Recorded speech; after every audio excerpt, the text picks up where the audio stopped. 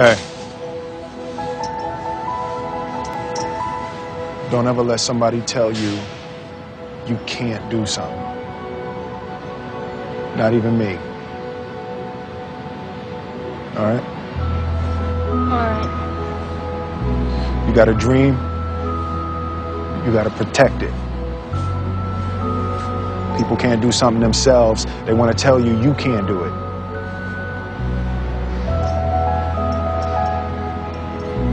You want something, go get it. Period. Welcome to Successful Dropout. This podcast is for the outliers, the innovators, the rebels, those that dare to dream and act on their dreams.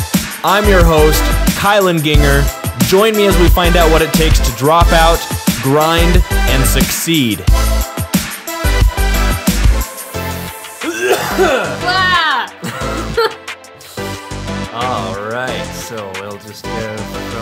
from the intro right Yes. right into it. Lost it.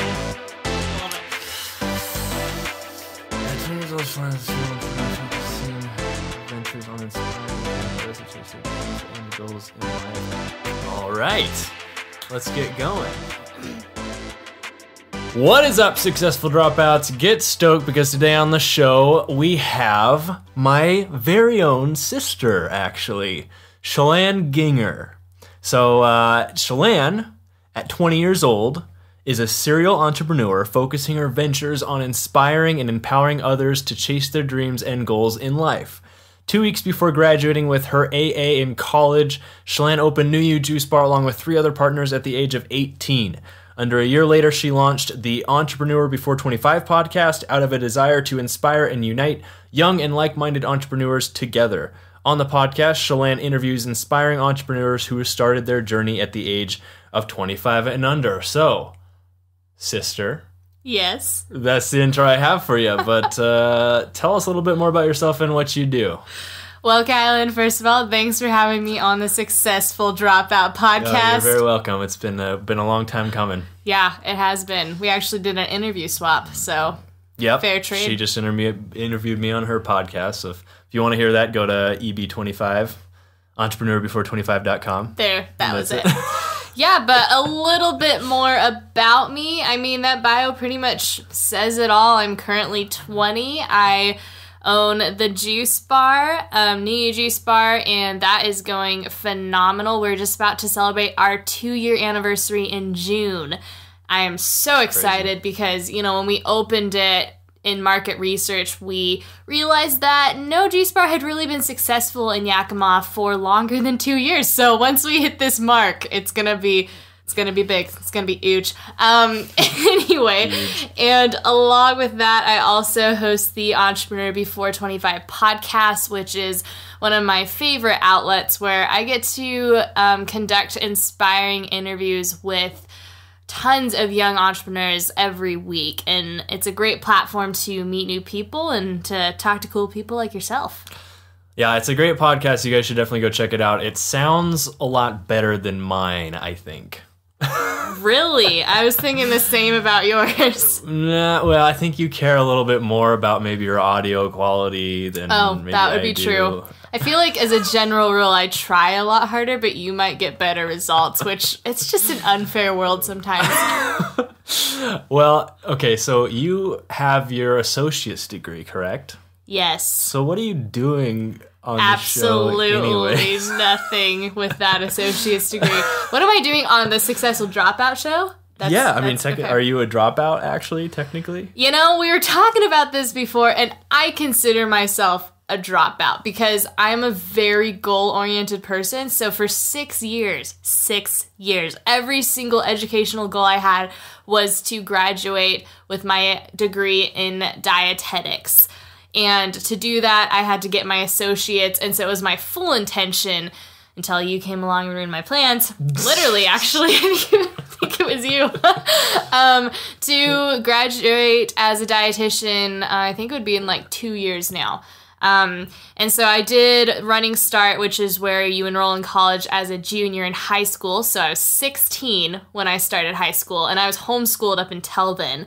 So it was a pretty drastic change. And then graduated with my my two year degree that one like piece of paper I needed to get into the school I wanted to go to um, at the age of 18.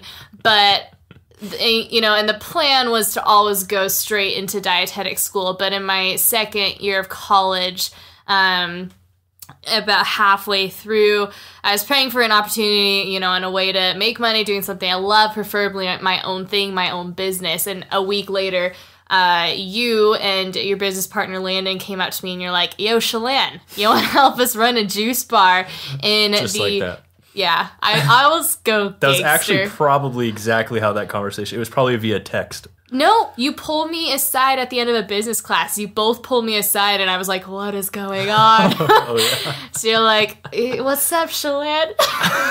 Just joking. Yo, you want to run a business with Sad us? dude. So no, you said you want to help us run a juice bar, and my famous line that I quote in like every interview I ever do is. You know me, I'm a ginger. I would need some ownership. And I'm pretty sure that's verbatim what I said. So, That's what we expected too. yeah, you knew it. You just tried to tried to get We tried to there. see if we could get you without Yeah. any uh, equity, but uh, So, uh, nope, I'm smarter than that. Thank God. So a week later, you know, we met, and seven months later, through about three times where it just wasn't going to happen, we opened the juice bar. And, it, you know, I, I told my parents and everything, okay, so I'm graduating like two weeks after we open this. I'm going to run it and make it completely self running during the summer and enroll in college again in September.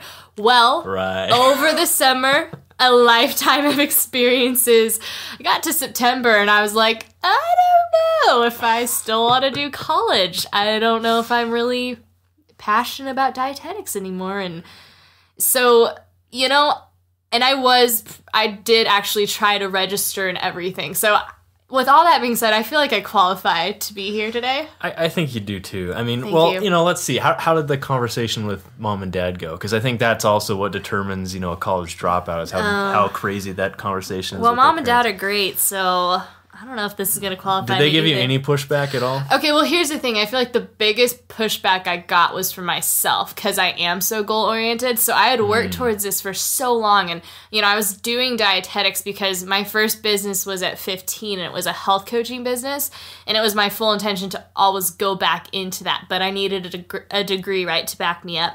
Right. And um, so I was fully intending to go through it. And I was actually Oren, my brother in law, who triggered. I think we all have those moments where somebody says just like one sentence and it just completely shifts your perspective. He was like, So are you actually like passionate about health coaching anymore, Chelann? And I was like, Oh my gosh, no, I am not. And he's like, So what degree do you think would really help you? And I was like, Oh my word, nothing I don't know.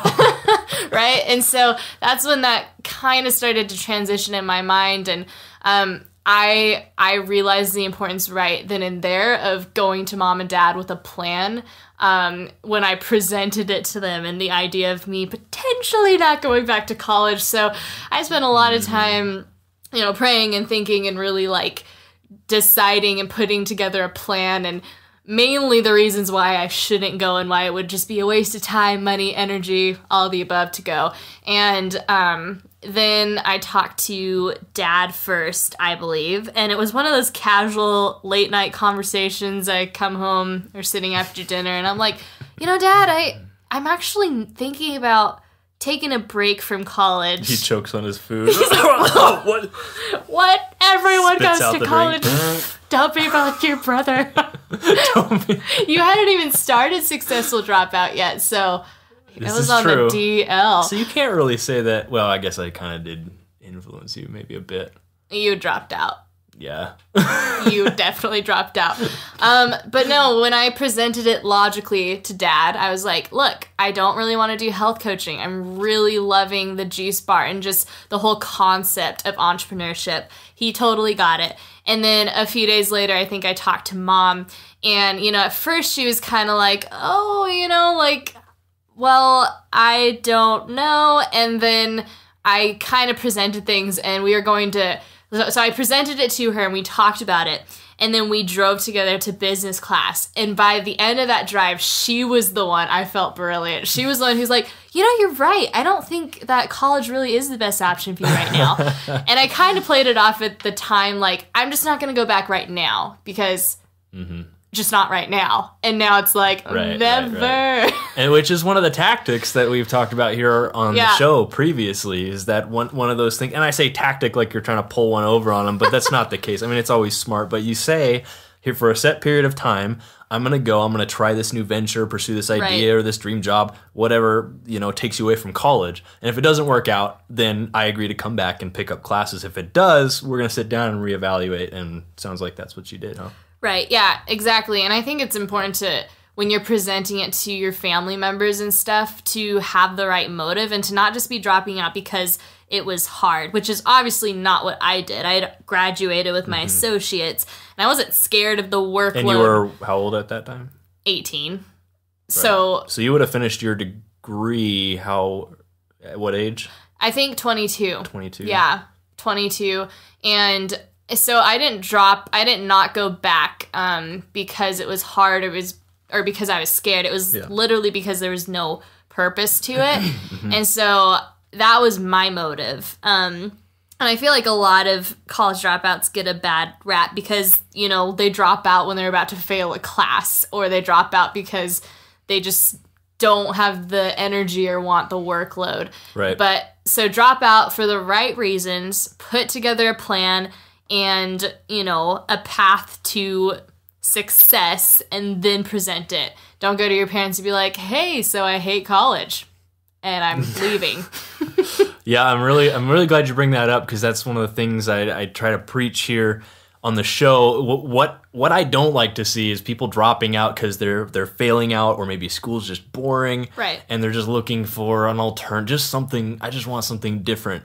You know, dropping out is is is a lot tougher. That's that's the challenge. Staying in school is, is the easy part. You drop out Oh, yeah. if if you know like you there's truly no purpose in it and what's what you feel called to do does not you know require college and if you're seeing a path there and then ideally you'd start working on that idea or that business like like you did before you drop out maybe you're, Right. you start generating revenue um and then besides that you know just make sure and, and drop out for for the right reasons oh yeah, for sure.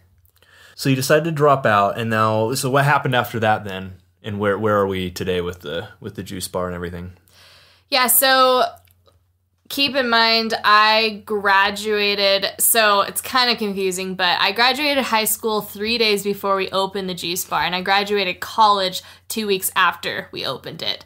So That's really confusing. I was in finals the first two weeks of the juice bar, which was awful. Don't recommend that. Um, and then, you know, we had it up and running through the summer. And when September hit was when I was thinking about enrolling again and about the time when I decided not to. Or I think I decided to put it on hold. And like in April of the following year, I was like, nope, definitely not going back. it was a, it was like the thing that was always on my to-do list, like research colleges, call colleges, enroll in colleges, and just never got done. Um, and man, since then it has been the most impactful, packed of learning two years of my entire life. Like I just don't think that you can gain as much experience and knowledge and wisdom in a college setting classroom of like getting your business degree than you can of actually being out in starting a business because mm-hmm. you're right Kylan being in college is actually the easy route because I don't care what your excuse is, you can always figure out how to get an A on a test. Like study for the test, right? yeah. But if you're running a business, there is no set path to success. You kind of just have to to wing it and do your do your very best and you might Learn not by doing, Yeah, yeah. you might not get an A. You'll probably get a negative in the bank account for a little bit potentially. um, but now the juice bar is absolutely thriving. It's been amazing to see like the growth in it and you know the culture we've created and the customers that we have and how we've been able to educate the people of Yakima when it comes down to health because Yakima's 5 to 10 years behind everyone else health-wise, which is no joke. 100% truth. Um, when we opened the juice bar, it was just like a foreign concept. People were like, so, you know, do you go to like Costco and you buy like apple juice and serve it? And I was like, what do you think we are? Well, Yakima, it was just a couple years ago, Yakima was labeled as one of the most obese cities in the U.S. Yeah. per, per capita, of Yep. course. Pretty but uh, yeah, it's not really known for its health. And to date, this is well, today still the it's the only juice bar in, in, Yakima. in town. yep. there was a there was a uh, It was called Piccadilly's, and my business partner and I, um, it was a juice cafe. We went there 1 p.m. on a Monday. We walk in there, and if you're an employee, never say this. She was like, "Oh my word, you're my first customers for today," and my business partner and I just look at each other with that look of, "Are we sure we want to start a juice bar?" know, yeah. Um, but they went out of business like three months. and I was gonna say started. Jamba Juice too. Probably three years prior to that had had come and gone in the space Right. of, of a few years as well. So it was a Yeah, big, was- which the juice bar is attached to the yoga studio uh, that we also own. It's all in the same building. So I don't know if we would have built it if it wasn't attached to the yoga studio. It's a similar business, and we thought there'd be a lot of cross traffic, but actually which there actually isn't. there's not as much. They yeah. stand completely on their own two feet, which is yeah. interesting. Yeah. So for for you people listening, uh, Chelann has has just done a fantastic job. So at at you know 19 years old, she's she had employees to manage and and be in charge of, and a business to run. Because I we'll we'll get into the story, I guess, of how you started taking most you know everything over. But right now, as we speak. Um, she's got the whole place running almost flawlessly on systems, and she's got just a Yes. there's a system for everything. systems. even on how to handle the, the knives in there, and it makes everything run super smoothly. the The customer service is just off off the charts and very consistent. Um, and the culture there, the the other gals that work there, is just phenomenal. And you guys even developed a a culture book, which was taken from is that Tony Tony Hsieh? Mm-hmm. Yeah. from Delivering Happiness. Great Delivering book. Happiness, and he's the founder of Uh, Zappos. Zappos, yeah. Um, so it was a concept from his book, and what they did is created uh, a NUYU culture book where all the employees, you know, past and present, uh, wrote down what they view the new NUYU culture as. You know, they they put the NUYU culture as they understood it and felt it into words, and it's in this book. And so now future employees, you know, read that, and it just it perpetuates and customers. Uh, yeah. yeah, yeah. Oh, yeah. And we, you know, the customers see that too and stuff. So, um, but yeah. So earlier I was talking about how you slowly started taking over most of that. So what, what's the the story there? How did that happen? So Landon and I, we built the studio. Mm-hmm. We approached you and said we, we basically want you to help us run this, mm-hmm. and then you take it from there. Yeah, and then um, I think Sean Landon's brother uh, was also uh, brought in a week later. So all I knew is show up at at this the juice bar space a week later, and then Sean was there, and you know Sean and I were both eighteen, both in college. Both had no idea what we were doing. I honestly, guys, hadn't even juiced before myself. I went home that night and juiced, and I was like, oh my word, this takes so much work. Oh, there were so many, do we really want to do this moments? Um, and then, you know, through seven months of, you know, trying to find the investors, gathering equipments, making systems, uh, we opened our doors, and the first day was precious. Um, and we thought it would be a great idea to try to have Sean and I actually run it for the first two months by ourselves, but that didn't work. And so we just had a few friends, and we were like, "Hey, hop in here."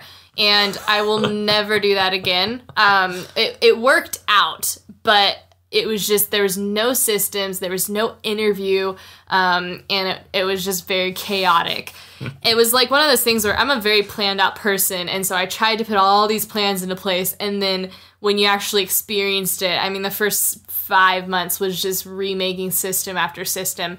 But anyway to make matters let's not say worse but a lot more fun um, for a graduation present my my dad and uh, brother-in-law had offered to take my sister and i on a trip a tour around europe and of course wasn't going to say no to that so i think i left for that like um le- less than a month after we'd open Yeah. And then Sean was gone a lot that summer. Kylan and Landon were gone a lot that summer. So we opened end of May. It was our soft opening. And it wasn't until October that we were all like in the same place at the same time running this business together. And that's when it became very apparent it just was not gonna really work out. Um, you know, Sean was really there for the like the experience of a startup, right? Just like getting the experience of starting up a business. And I was, you know, there for the long haul. I really wanted to see it succeed. I really wanted to see um, you know, the people of Yakima be impacted for health. And Kylan and Landon originally were were there because they came up with the concept. They helped raise the the money, helped build out the space.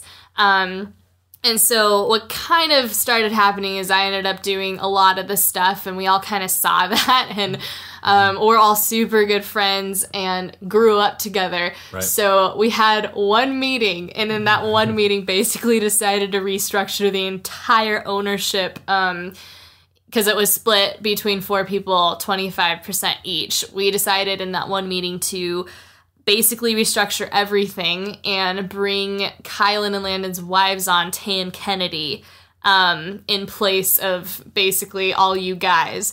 And then I didn't even ask for it, but you guys were like, okay, well, logically, Chelann should get 50%. And I was like, oh, okay, sure. And the business was worth absolutely nothing. And you'd think that in a conversation like that, there'd be some hard feelings, there'd be some, you know, maybe some anger, I don't know, some frustration. But at the end of that conversation, we were all like laughing, hugging. You know, we went over right then and there and signed over the LLC. And um, Yeah. so in October, pretty much everything changed. And then I had 50% all of a sudden of this business. And I think it was you, Kylan, that had to have a talk with me a few months after that because I was totally not owning that, um, not acting like majority owner because it happened so fast. I didn't even ask for it.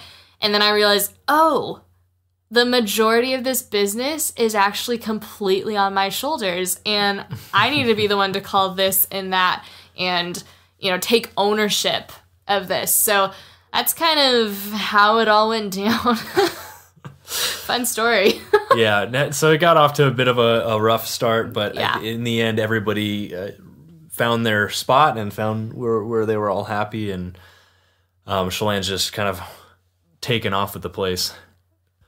Okay, so you are uh, the juice master extraordinaire, the and uh, Sure. and actually, you know, to to make a long story short, the juice bar is profitable, and you're working there a lot and making a, a full time salary uh, with that, and of course, learning learning a lot still. Oh yeah Um, never stop So now you have the podcast as well. So talk a little bit about that, how you came up with that idea, and what that's all about. Yeah, well, as you can imagine, at 18 years old, when you go straight from being a college student to a business owner, that's quite the life transition there. And so I guess you could say I lost the ability to relate to a lot of my original friend group. It's not even that the friendships ended, it's more like they just dissolved because I was, you know, on a completely different wavelength. Like, bipolar opposite now. You know, their biggest challenge was, oh, you know, I procrastinated for a test and gonna fail it. And I'm like, okay, so We just lost two employees. we just lost two employees. Um, customers are angry. People could die. just escalates from angry customers to death. That's what it feels like sometimes. yeah, for for real. Um, anyway, and so I just was beyond frustrated because I had no one to relate to besides my business partners, and to this day, I've still not met a um, a person who started a brick and mortar. Not social media or online, but a brick and mortar at 18 years old. Still haven't. Waiting for that day. If you're listening and you're one of them, shoot me an email. Love to meet you. um, but Yeah, I, we're, we're kind of anomalies in that. In that brick and mortars i don't want to say it's harder but there are specific challenges that you face with a brick and mortar that you just wouldn't. Or like physical service based companies. I mean, that was Yeah. the, the painting company for me, my first company. Whereas most people our age now, they're starting, you know, these online businesses and so Which which, we're moving into now. But yeah, there's definitely nothing wrong with that. I'm just saying brick and mortar, it's like a completely different type. It helps you really understand the concept, like how business works, all the ins and outs. Though I feel like almost better than an online business in some ways because everything is everything is tangible. Like Right. from the ingredients that create your product to your product to you know you actually serve the customer you know face to face. They're Kind handing you their business. money from their wallet or Yeah. or complaining right there in front of you. Yeah. So anyway, I was doing that and like I feel like the first 6 months were pretty lonely for me. Actually probably longer than 6 months cuz I was just in Uh, business and me. Kylan, I always have you. anyway, and so I was super frustrated. And I remember venting to family members and just everyone. Like, I would give anything to talk to a young entrepreneur. Anything. Like, anyone out there. I, I literally thought young entrepreneurs did not exist, okay? And I was like, well, they've got to exist somewhere. And if they do exist, then chances are they might be feeling the same way I am. And I was like, all right, well, I'm a ginger. Once again, I'm going to create a solution to my own problem. And Kylan had talked about podcasting a lot. And I was like, hmm, I'm going to start a podcast for young entrepreneurs. So um, that's how the idea came about. And it was kind of born out of a healthy frustration to make a difference, to make a change, to create a community of young entrepreneurs where you could come and listen to a podcast from from people from inspiring people who are running the same race you are in life and facing the same things. I think there's something so powerful about relating to like-minded people and hearing from people who are in similar situations as you because it really opens up your perspectives and um, as humans we're meant to connect. We're meant to see eye to eye with people. And so came up with the idea probably in april started really working on it then and opened it or launched it in june. Um, and it kind of became a competition with this podcast actually successful dropout because we were sitting in kylan's kitchen one day and i was like guys it's on my goal sheet which i'm huge on, huge on goals to find a name this week to make a name and pulled out all these awful names and kylan and tay were like helping me brainstorm and Kylan was like, successful dropout. What if you targeted towards, and he laid out this whole business plan for this podcast. And I was like, no, for my podcast. I really don't like that. And then he kind of left for a little bit, and Tay and I are still brainstorming, and Tay was like, entrepreneur before 25. And I was like, huh, maybe yes. and then Kylan's like, I'm going to start Successful Dropout. And then it was like, oh, it's a race It's on, oh, brother it's on. Literally brother. Um and so anyway the podcast has been absolutely like one of the best things that i can imagine. I can't tell you how many amazing entrepreneurs i've been able to have on the show. Um, what a great platform it's been for meeting new people and networking to new people. And at the end of the day, it's something I'm super passionate about creating that community, that like minded community. And so I enjoy it. I enjoy doing the interviews and meeting people. And I know a lot of people who listen to it obviously do as well. But at the end of the day, because the podcast is something I'm passionate about and because the juice bar is something I'm passionate about, um, I love life and it's it's not work for me because I'm accomplishing my overall goal in life. Yeah, yeah, that's that's very apparent from from where I'm sitting too. Um, so the question I have is: so you talk to a lot of really young entrepreneurs on the show, Right. And I know a lot of people listening are probably in that age range, you know, anywhere from you know 16 to 25 years old, um, and you're maybe in school and thinking about possibly dropping out, maybe starting a business, um, or opting out, or maybe you already have a business. I guess from you, since you have so much experience talking to young entrepreneurs, mm-hmm. what are some of the most common traits among them that that have made them successful that you can share, you know, with with people listening? Hmm. That's a hard one because there's so many. You know, I've Right. I think I was telling you yesterday, I'm have like 45 interviews published at the time of this recording and like I've done probably 60 something. So that's a lot of wisdom right there. Um, but the things I've noticed from young entrepreneurs who are inspiring and successful is they're they're creators and to be creators they have committed to being continual learners and being teachable. They're just hungry for knowledge and they also are really good at um, goal setting too no matter what that means for them goal setting can be anything but having a goal and then taking action. And i know it sounds super cliche because everyone has those those memes with their face and then you know an overlay of Texas is just take action. But um, there is a lot to be said with that because we can we can plan and we can goal set all day long but at the end of the day taking that action and then getting up when you fall down. Um, i think there's a statistic that you know you fail at seven businesses before you succeed at one um, something like that. So you know they're teachable they're very committed to learning um, they're hungry for knowledge they have a goal a purpose and a huge why. Like the bigger your why the bigger your goal is going to be and vice versa. And then they're willing to take take action on that um, and really just chase that with all their worth but i think most of all they're they're creators and consumers at the same time What do you mean by consumers? they're consuming the knowledge they need to I see, create I more. see. When you say consumers, it makes me think of like you know retail consumers shopping.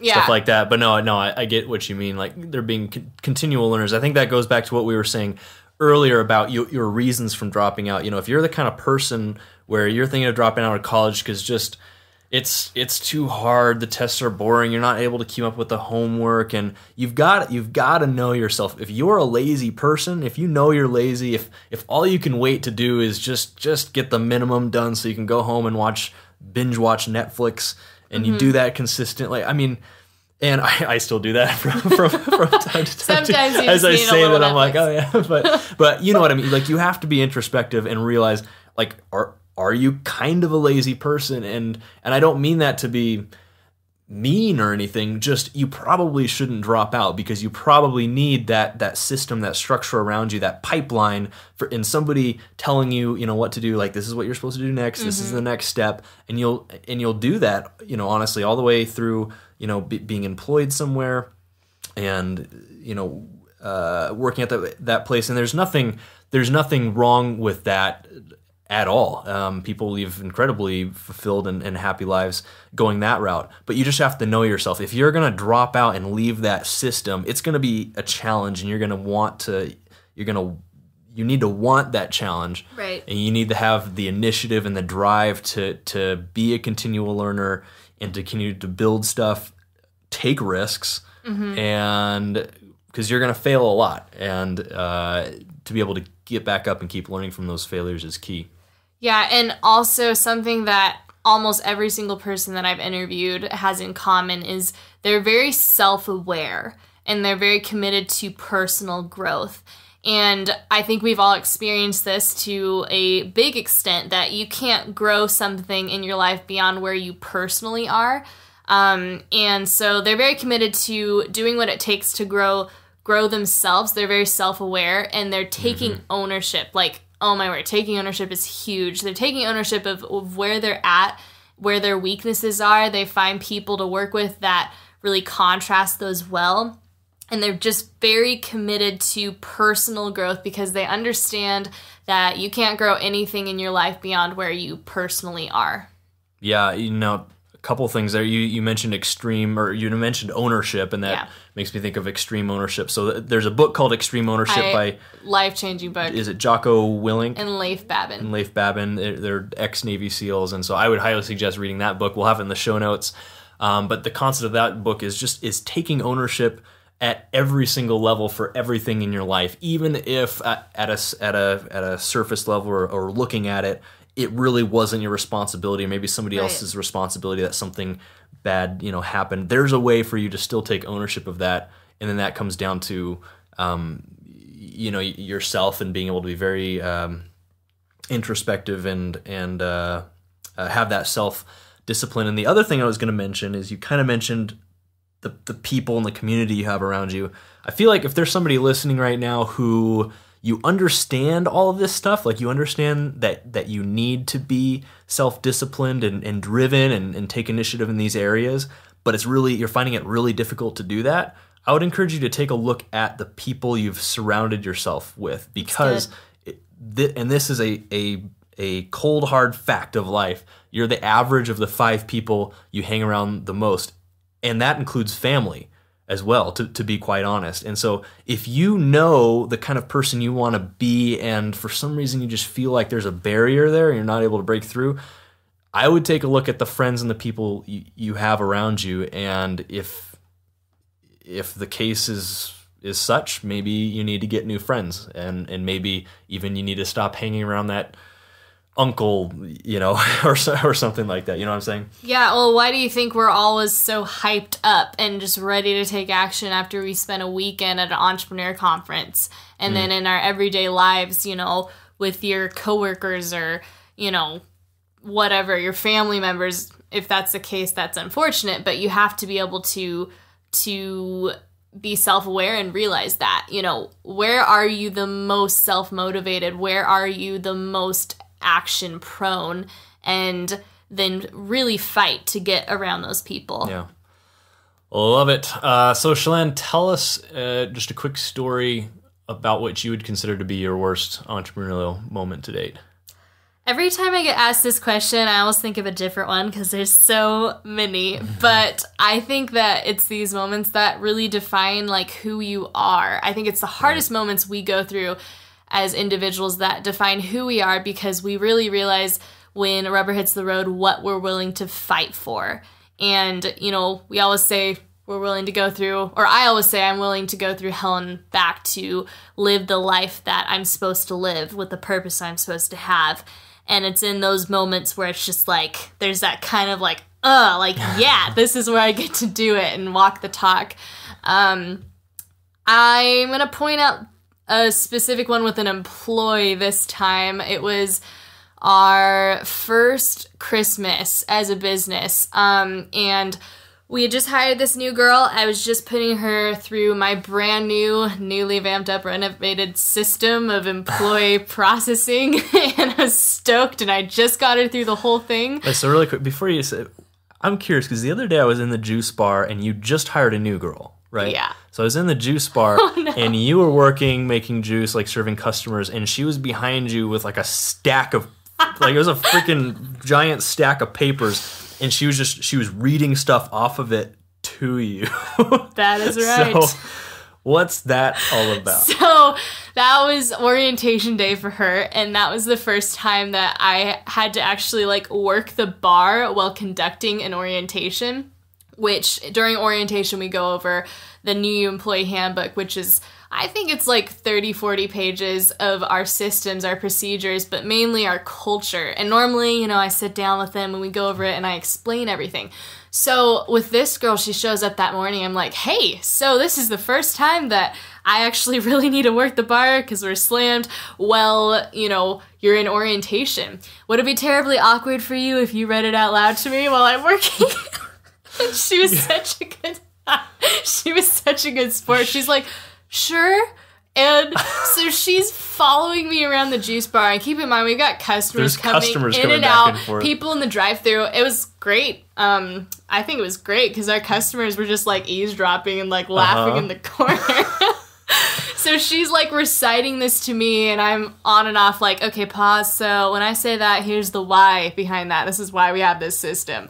So that's what was You know, if you on. don't don't ever make it in juice, I'm sure you could just travel around coaching different businesses on how to create tr- training manuals that. and stuff. I love systems, guys. And just to point out for people listening, the importance of systems. I don't think I talk about that enough on the show, but at least in our fam, systems kind of run in our blood, and it comes from our dad, really. And any, if you're uh, familiar with the book e, uh, The E Myth, um, and any business owner who's been doing it long enough realizes that systems are the key to to success, really, in business and to scalability. Yeah. Um, when you've got a system, from everything as big as like hiring employees to as small as like how to handle a knife in in the case of the juice bar it's it's something where if it's always done this way you always get the same Consistent outcome and consistent results and it's documented so people who leave and new people that come in can pick up right where they left off and it's just a phenomenal thing maybe we'll get into that more but Yeah. but that that's what you were doing so now that i feel like you, you Yeah, and don't don't let the word system scare you. It literally is just a step by step like bullet points of how to do something. Like for the juice bar, um, you know, a closing system is a s- literally step by step to where I Mm-hmm. could hand it to someone like a 2-year-old and they could figure it out like, okay, so shut this light off on the open sign and then go over and wash the juicer. And that way you get specific results and it really helps you have your business be self-running instead of you running your business. it's kind of like a check a checklist kind of Yeah. concept and there's a book out there There's several called- ways to do it, but it's not scary. It just it's time consuming up front, but it will save you time in the long run. Yeah, yeah. And there, there's a book out out there uh, that I was saying is called The Checklist Manifesto, which is one of the top recommended books in the in Tools of Titans, which, Tim Ferriss's new book, which is like the Bible. Um, I put a link to that in the show notes too, but it's kind of along that that same concept. Um, and it can just everything from employee safety, making sure knives don't get dropped on toes, which has happened a couple times in the in the Yep. bar I know, Yep. to consistency in the drinks. Uh, there's a system for making all of our drinks, so they're consistent for the customers, and so can't stress the importance of that enough. Um, but so your story, let's go back. You, you were telling the story of your worst entrepreneurial moment. Right. Massive bunny Christmas. trail there. So anyway, it was Christmas. Bunny trail, what is it? rabbit trail. I mean, I like bunny trail better. Save From now on, bunny, bunny trail. it is. um. Anyway, so it was Christmas. This is a bunny trail. okay, sorry. Continue. Ah, focus. Okay, so Christmas. Okay, snow's Christmas. falling. Everyone's happy except for Kennedy. Um, no, Kennedy was happy, but she was about to go to Costa Rica. Tay was gonna be busy running the whole studio because Ken and her run that together, and I was in charge of. That meant like I was the main one doing the juice bar for like that month. Right. And we had just hired this new girl. She was great, loved her. The system was just flawless, which was like the best day of my life. and then one one day our employee comes up to me and basically says that she has to to quit because of this reason and that reason and I was like, okay, well, let's let's talk about this. So what ended up happening is I, I talked to her and I was basically helping her problem solve, right? She was 18 and um, you know, very the references is like checked out on her, but I also learned from this experience to really dig a lot deeper with references when hiring. Um, and anyway, she listed all these reasons and but also said that she really wanted to stay and that she didn't want to leave and all that. And so of course I'm like, well, I want you to stay. I'm going to help you problem solve here. So I like listed all these things and when we left that very informal meeting, I was totally feeling good about it. You know, I talked to Tay and Ken and I was like, it went great. I think she's going to stay because if she left, that meant like we had to fill so many shifts and we were super shorthanded already and it was the holidays and people were gone and it was just literally not an option, okay? And anyway, uh, it was Saturday night. We were decorating our Christmas tree. I'm like, Bing Crosby was on the radio. I was super stoked. I love Christmas. And I get this text, and it was a passive aggressive, probably to this day, one of the roughest checks I received. And it was basically like, you don't respect my dreams. You really like, you're trying to keep me against my better judgment, against my better will. And it was just Dang. awful. And at the end of it, it was like, because of this, I will not be coming back, and I expect my my last check in the mail. And I was like, okay, sweet. and I put my phone down, and I had a moment, and I was like, oh no. um, So much for the Christmas spirit. yeah, I was just like squash that. Um, so because what this meant, she wasn't coming back. She had several shifts the following week. I was already pulling extra extra weight and so in my ma- mind this is all ca- calculating i'm just like okay so i gotta hire someone by this day we gotta fill all these shifts what is going on? What even happened here? um, it's Christmas. I might not be able to have Christmas. I just jumped to the worst conclusion because then hopefully it'll be better no matter what. Um, so Plan for the worst, hope for the best. yeah, so that was really hard too because I guess in my first really, you know, experience where an employee actually felt like I did something that I completely promise you I did not do. And I was like, okay, well, you can't let your emotions get into this. That's the last thing that needs to happen. So, what ended up happening is I had to recruit, I had to hire and train someone in a week, which is insanity. Um, but it has all ended super well because the girl we hired was a godsend, literally, and she is now been with us over a year and is now our assistant manager and is absolutely phenomenal. Um, but I think that would have to be like my one of my worst, like most challenging moments, just because it was so so inconvenient and after so much hard work, like you literally like raise the perfect employee, right? And right when she gets out of training, she's just like, see ya on completely wrong terms. Um, Yeah. So that's that's the one I'm gonna point out for this. So, what did you learn from that? That was the, the the first experience where I really realized the power of not letting your emotions be dictated by the by how good your business is going. And because it was the holidays right? And you know it would have been so easy to just let myself get down. And there was definitely a moment or two where I was like what are we going to do? Um because we were so short staffed but i think a lot of times as as girls running businesses especially you always hear the horror stories of oh my boss is a woman and you know what that means. Super moody worst boss ever. And i think it was in that moment where i was like i'm gonna totally flip those tables and be an emotionally stable woman boss. Um, so it was, I think the biggest thing I learned from that is no matter what challenges you face, it's going to work out and approach things face value, look at it from an airplane perspective, and don't let who you are, how you're doing as a person be dictated by how your business is doing. Yeah, right, right on. Now, because you're so young and running a business that serves thousands of people in our, our city, are there ever any unique challenges you've experienced because you're a young business owner?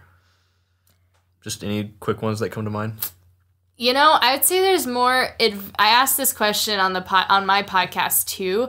Um, I would say there's more advantages than challenges. Interesting. Yeah, because because I am so young, and I think I decided to be a young entrepreneur at the right time. Where Like people underestimate you. yeah, it's just like I'm gonna prove you wrong. Um, but no, there definitely have been the moments where people are like, "Oh, so you're you're 18 and you're running this." That's kind of scary.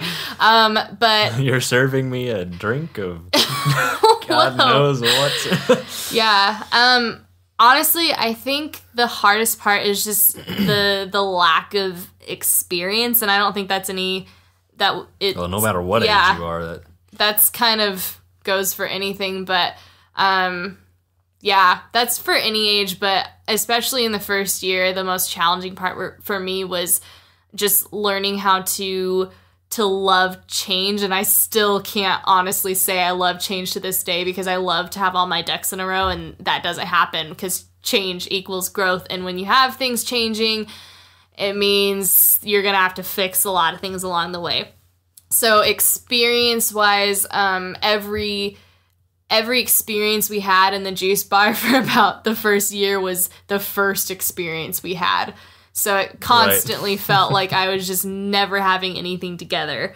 Um, so that would probably be one of the hardest things in the first year that I had to experience. What do you What do you think as as a young entrepreneur, uh, somebody who's listening who may want to start a business and hasn't yet? Where do you think is a good place to start? I mean, how, how do you how do you start a business? How do you come up with an idea and, and validate it, figure out if it's a good one or not, to good enough to run with at least? Hmm. That's a that's a loaded question. I would honestly take it back to to your life purpose, like your ultimate goal, your ultimate why for yourself, and then work backwards from that. um, you know, like my my life purpose, why I exist on this earth is to inspire and empower the younger generation to live in extreme freedom and complete life balance through the platform of being an entrepreneur and a Christ follower. And you know, I started a juice bar and you're like, "Well, what the how does that work?" But the juice bar gave me a platform to start the podcast, which as you can see is more of a direct way to accomplish my ultimate life purpose. Right. So I think that one of the most important things is to define, you know, what is your your passion, what is your purpose, and what is something that only you can offer the world, and then work backwards. Like literally write down on a piece of paper, you know, what does that mean for you? Does it mean you're gonna live in a mountain cabin? Does it mean and how do you get there? And you know, work backwards from that, and then it's it's an what's the saying about the elephant? How do you eat an elephant? Who eats an elephant, by the way? How do you eat an elephant? yeah, one bite, One bite at a time. But yeah, if I had to pinpoint something, that would be that would be what it would be. So start starting something from your ultimate why, your your ultimate purpose. Yeah, because as an entrepreneur, like you, unless you're like a miracle case or something, you're not going to be getting paid for a pretty, like, a very long time. They always say, you know, do something that you love enough to never get paid. Well, that's really Yeah. true.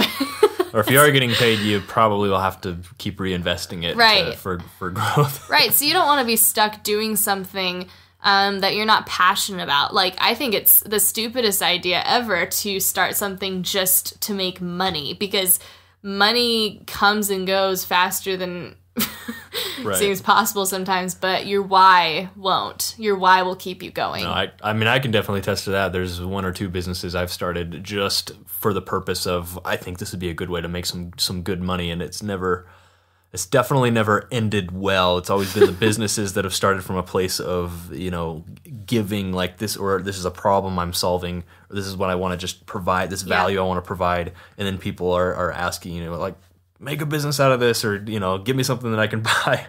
Um, but speaking of purpose, do you do you think that everybody has a like one ultimate whole life purpose? Hmm. Or no? That is a very good question. And I ask that because you you obviously feel that way and you spout it off yours pretty you know you've got you've got it I- I recite it and every morning, everything. yeah. You recite it every morning.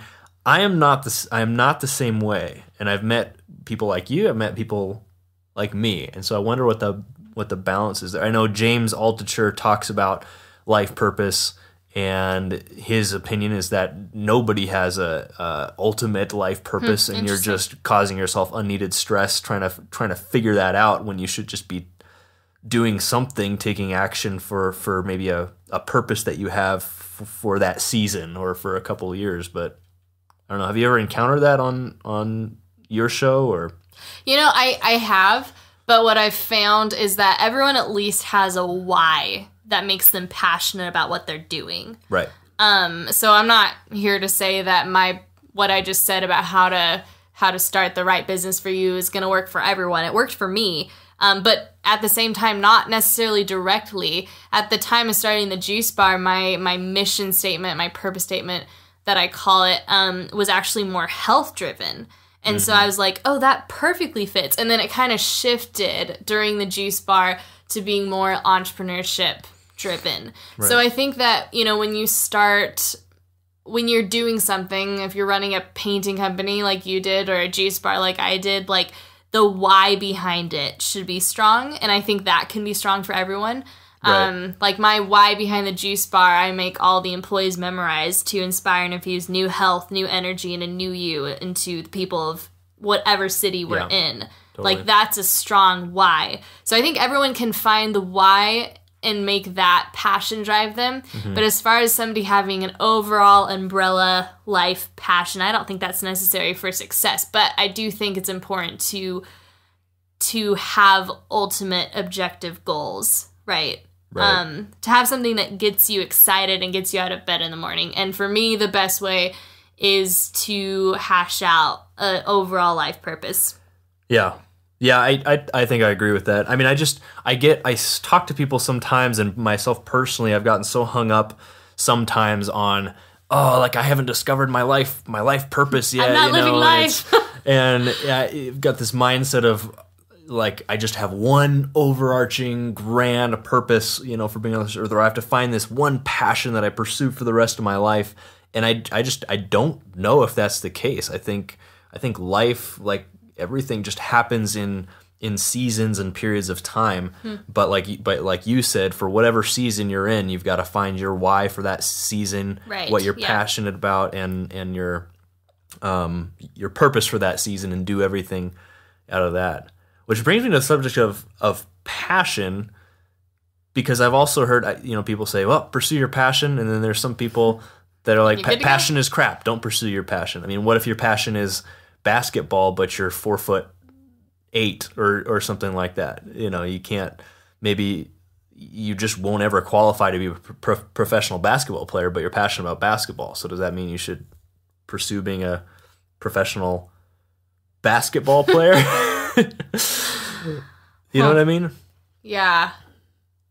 Man, we're getting deep here.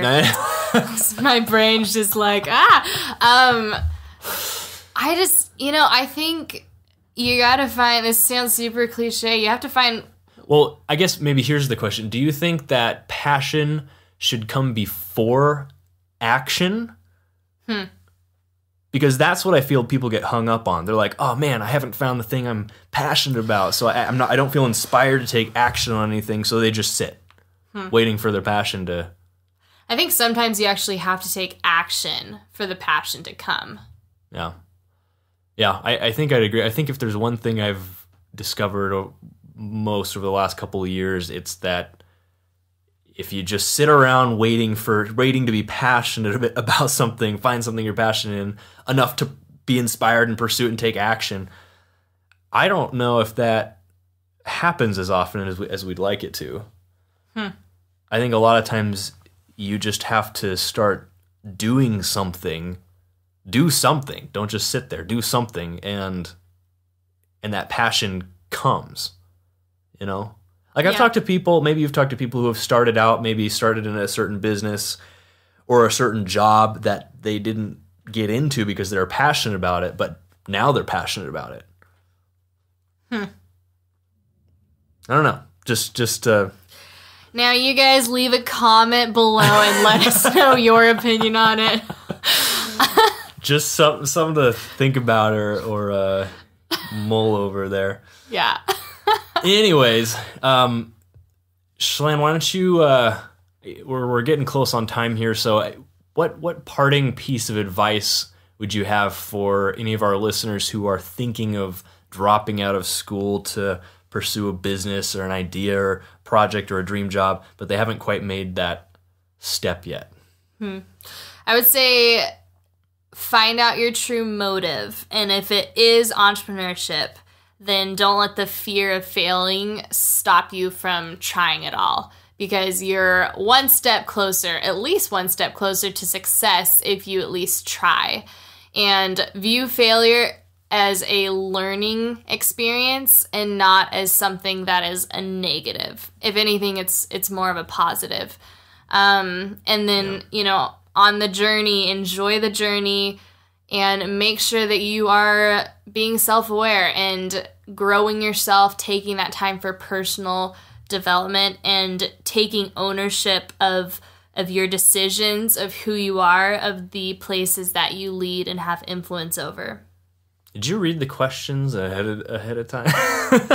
i've listened to your podcast you just answered the second question. Was advice for people who are already on that journey? But oh that's awesome. Um, don't know how that happened What's the best way for people to get a hold of you? Ginger on pretty much every single platform um, Facebook, That's Twitter. with two N's. Yeah, C H E L A N N. You can also check out the entrepreneurbefore25.com website to listen to my podcast and also the podcast with yours truly, Kylan Ginger, that's going to be coming out here in the next few weeks. Do people have your permission to email you and Yeah. ask you questions? I would love to hear from you guys. You can email me at chelann at entrepreneurbefore25.com and I, I love answering any questions that I can. Yeah, I would take her up on that, guys, because here's a, a super super young gal, uh, no no four year degree, who's learning everything through trial and error and by doing. And honestly, I think i mean I've met.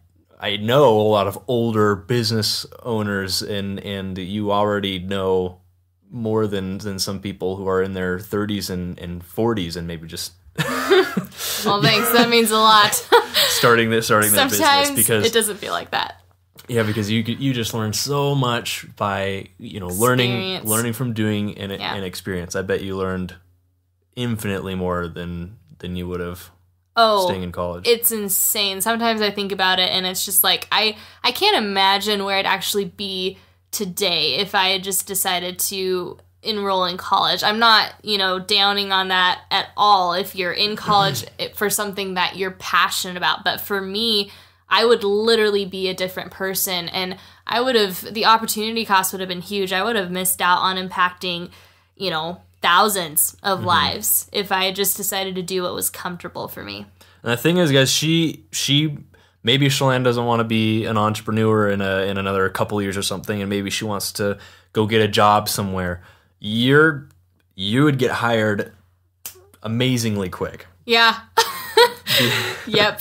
because you've you've you've self credentialed, you've built built up this experience and something you can actually point to and see. Like I built that, I built all these systems, I hired all these employees, I served all these customers, and and you'd get you'd get hired just just like that. There, there's no substitute for actual experience. Don't just spend four years and thousands of dollars learning theory. You actually have to get out there and and play the game. And there's kind of that alluding to that football analogy again. But mm-hmm. anyways, we could we could go on for a while, but. Successful dropouts, you've been hanging out with Chelann and Kylan, learning what it takes to drop out, grind, and succeed. For everything we talked about today, head over to successfuldropout.com and type Chelann into the search bar, and the show notes will pop right up. And as always, stay, hungry, hungry, stay, stay foolish. foolish. Stay with me now. Boom.